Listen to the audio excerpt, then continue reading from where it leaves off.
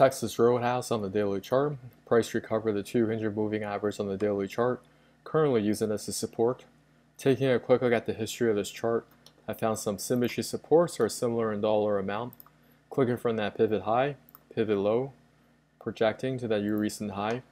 Over here, this pullback over $12, looking from that pivot high, pivot low, pivot high, and one more time.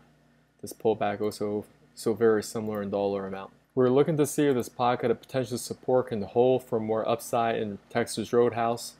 Pockets right around 83, 84 and some change. On the hourly chart, price is also getting up above that 200 moving average.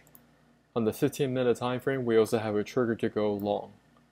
What you can do here, not financial advice, position size here correctly, but set your stop loss below this pivot low. Hi everyone, John here.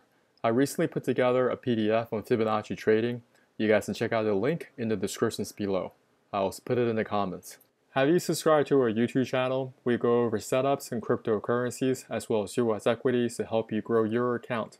Subscribe now and hit that notification button. We look to hearing from you in the comments area.